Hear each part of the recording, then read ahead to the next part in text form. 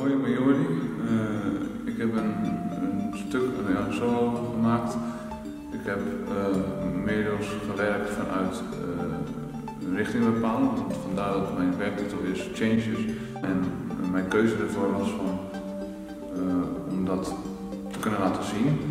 Van, ja, de richting is nooit altijd duidelijk.